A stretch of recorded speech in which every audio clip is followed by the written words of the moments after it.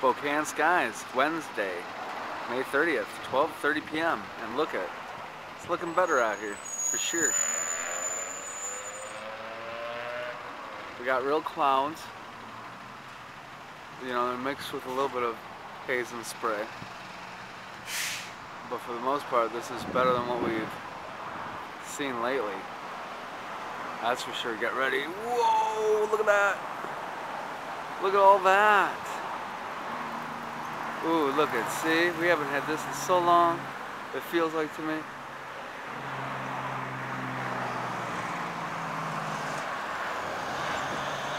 Reels, reels, reels. See, I think, don't know.